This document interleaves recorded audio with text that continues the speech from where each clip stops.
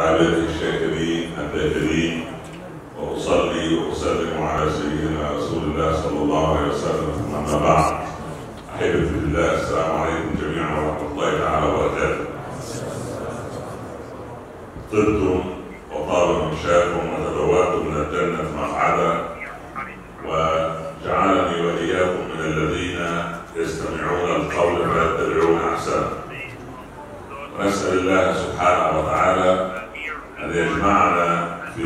ظل عرشه يوم لا ظل إلا ظله.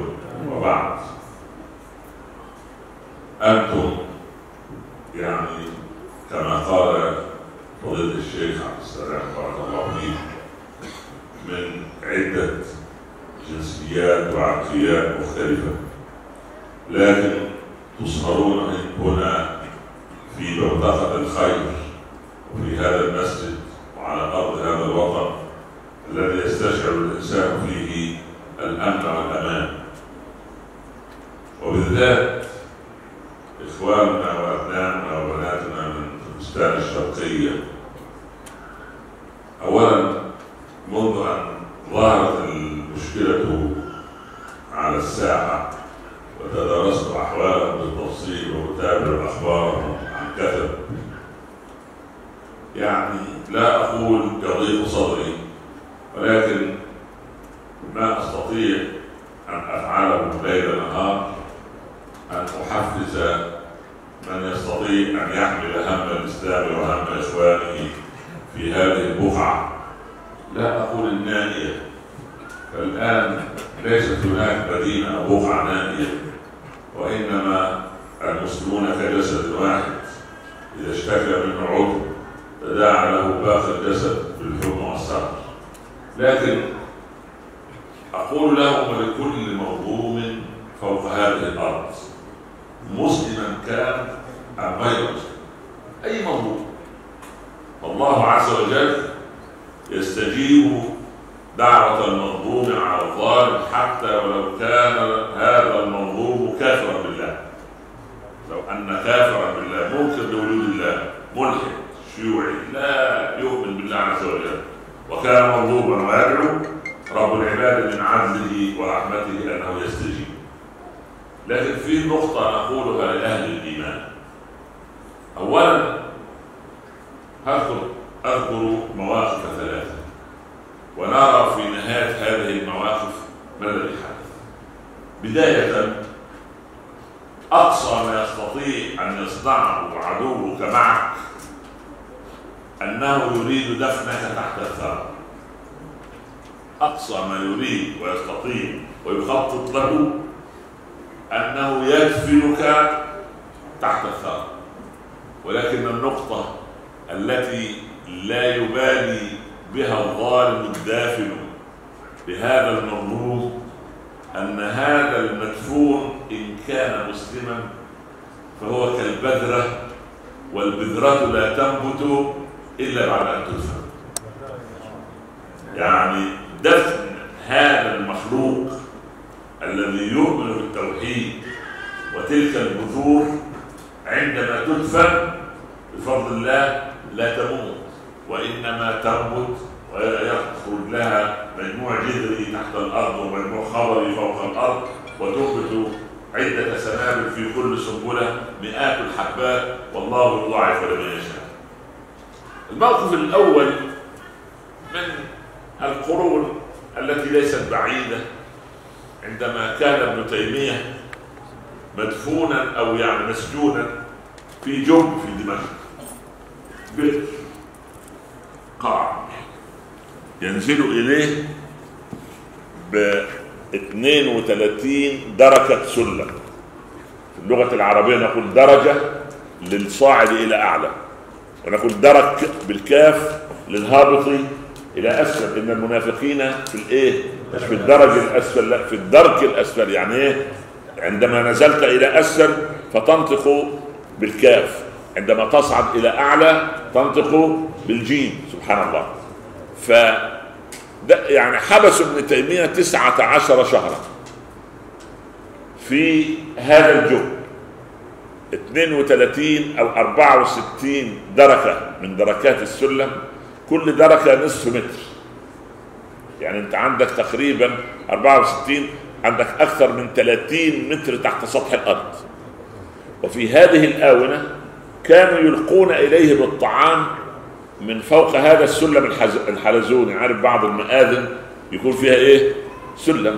يصعد زمان المؤذن عليها قبل وجود المكبرات. فكانوا يلقون اليه بالطعام في صرة. والله أعلم يصل أو لا يصل.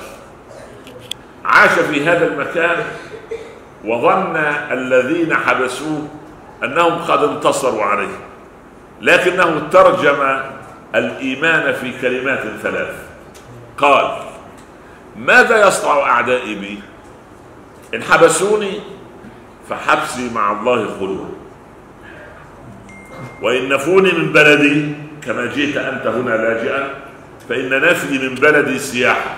والله أمر بالسياحة العملية. وإن قتلوني فإن قتلي لله شهادة. ترجم لنفسه حقائق الإيمان. حبسي خلوة نفي سياحة قتلي شهادة. انظر إلى ذي النون سيدنا يونس.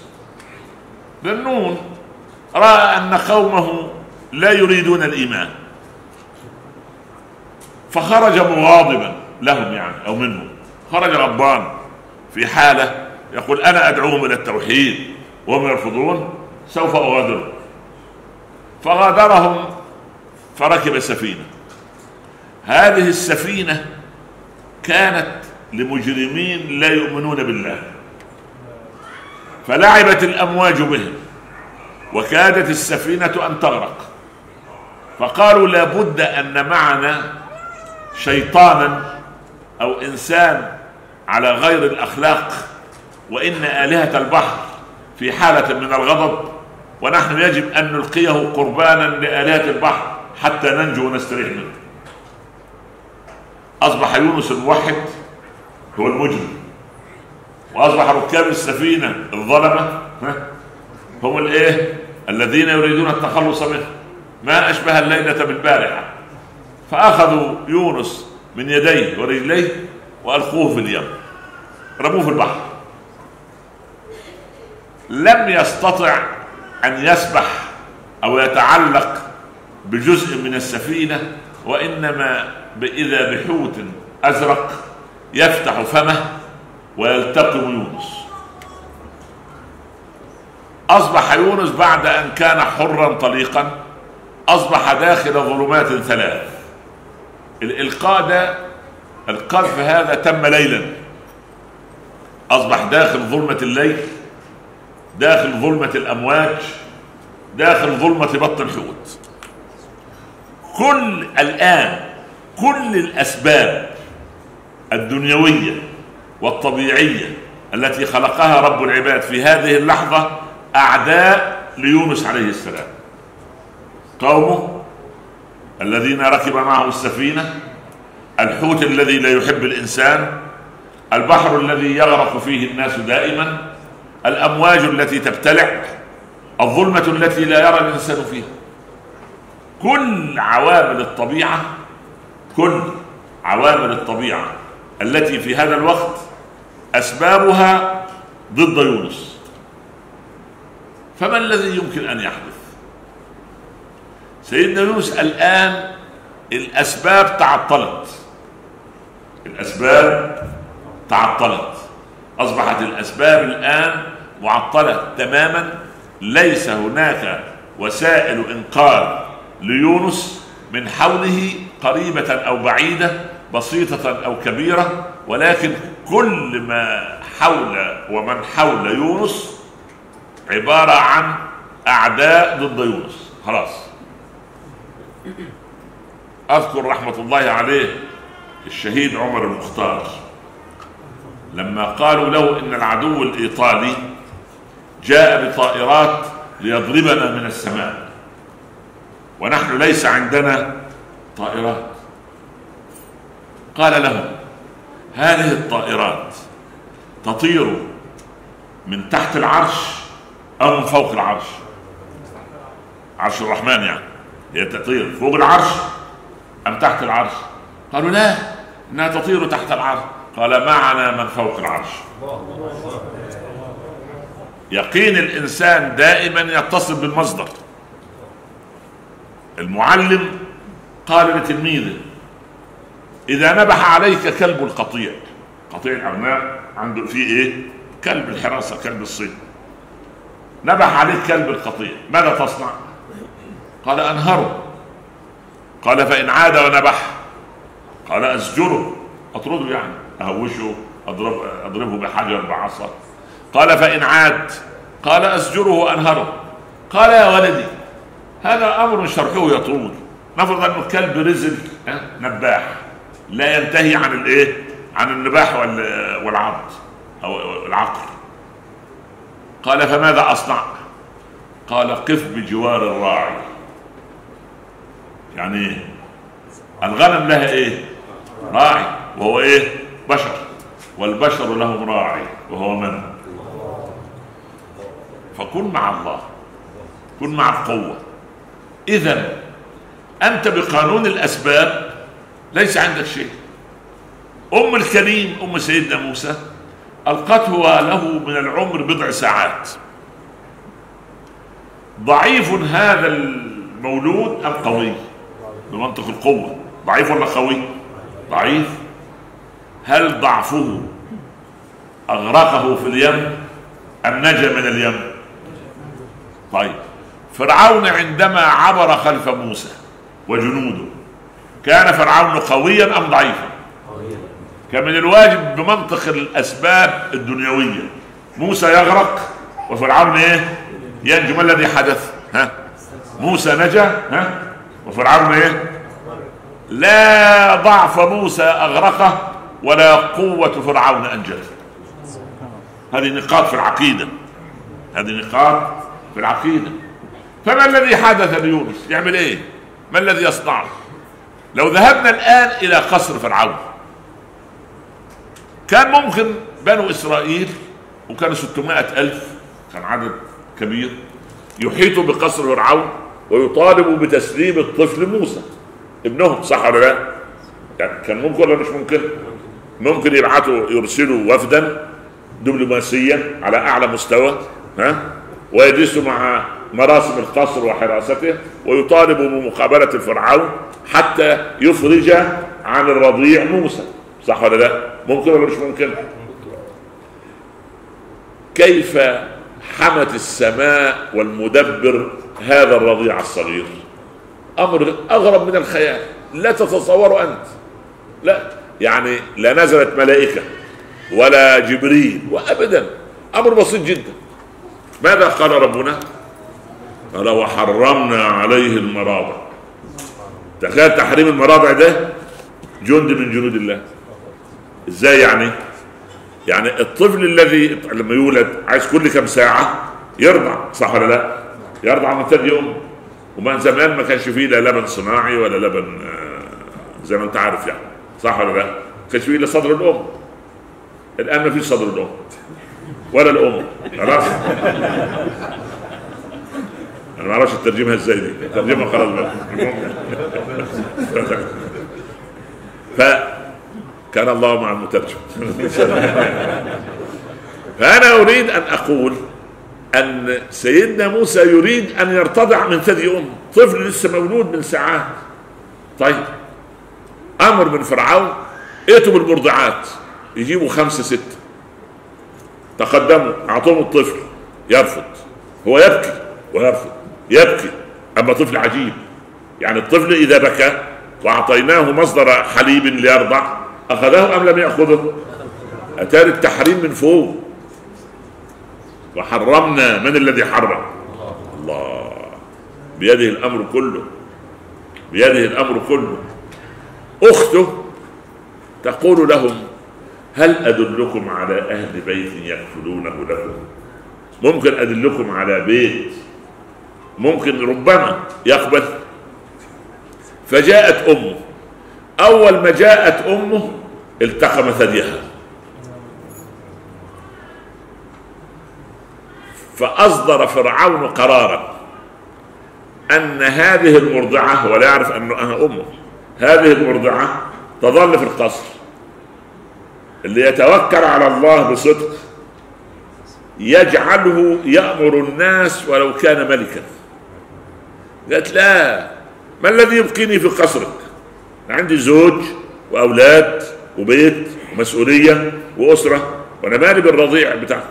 شوف اللي, اللي مع الله يتدلل. اللي مع الله يفخر. اللي مع الله يقوى. اللي مع الله سبحانه الضعيف مع الله يصير قويا. وذكر الله بالليل يحول الليل إلى نهار مشرق. والتوكل الصادق على الله عز وجل يحيل المهزوم منتصرا والمنتصر مهزوما فسبحان الله العظيم قالت له أنا عندي أسرة عندي مسؤوليات لا أستطيع. قال أعطوهم جناحا في القصر. جناح داخل القصر سبحان الله.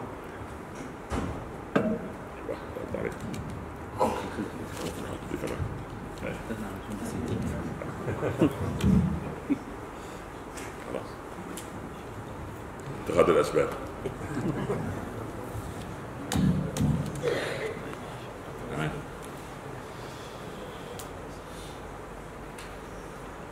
فأعطى فرعون جناحا في القصر.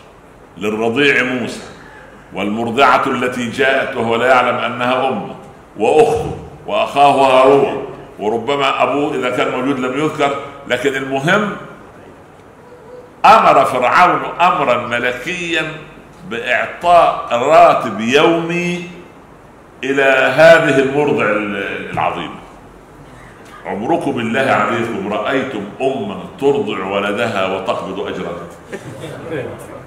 احمدوا ربنا أن زوجتكم لا تطالبكم بثمن الرضاعة صح؟ لو أن الطبيب قال لها ها؟ لو أن الطبيب قال لها يجب ألا ترضعي ولدك من صدرك لأن اللبن خطر عليه ائتيه بلبن من الصيدلية صناعي تركيبته كذا تمام ماذا يصنع الأب؟ يذهب ليشتري هذا الإيه؟ هذا الحليب ولا هيدونه هيعطوه حليب مجانا. فممكن الزوجة تقول لك إيه؟ طيب ما دام أنا بأرضع ابنك طبيعي وما نروحش نشتري بمال بدل ال 20 دولار اللي نجيب بها حليب هاتها لي من قناعة زوجاتنا ما طلبتنا. أنا بس هد النفوس يعني من, من قناعة زوجاتنا لأنها بتشعر أنها بتغذي ولدها ولذلك يقال أثناء إرضاع الأم لولدها تخرج أشعة نورانية غير مرئية من قلب الأم إلى قلب الولد يكبر الولد متوازنا في أخلاقه وسلوكه ونفسيته.